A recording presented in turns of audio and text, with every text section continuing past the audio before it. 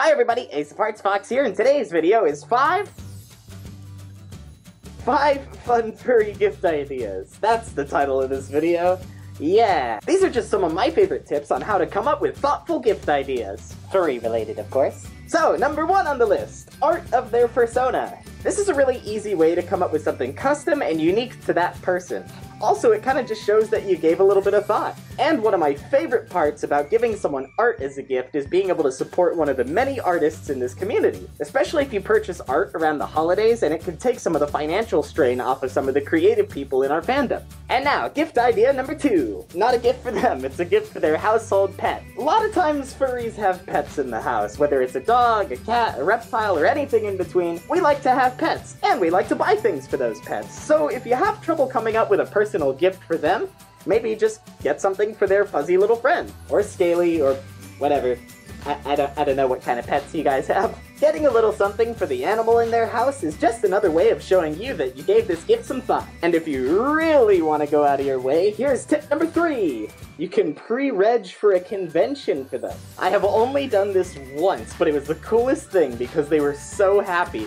One of my friends was planning on going to a convention in Los Angeles, and I pre-registered their ticket for them, and that was just one less thing for them to have to think about. So if you know for sure that your friend is planning on attending a specific convention, you can pre-register for their ticket. And the best part is, if you do it really far ahead of time, then you can get the tickets for relatively cheap, and it's still one less thing for them to have to think about when they're going on their trip. And now, number four, furry apparel. If you're really having trouble coming up with something a little more personalized, then furry t-shirts and all kinds of art prints and any kind of merchandise is a really easy gift. Like, honestly, if any of my friends were having trouble getting me something for like a special occasion or a birthday or something, all they would have to do is go on Hyena Agenda or Artwork Tee or something like that and find anything. They have so many cool designs. Because, I mean, honestly, we just love wearing furry stuff. And speaking of any furry stuff, we have number five anything related to their fursona. Like, I'm super easy. Anytime my family is having trouble finding me a gift for a holiday or for a birthday or something,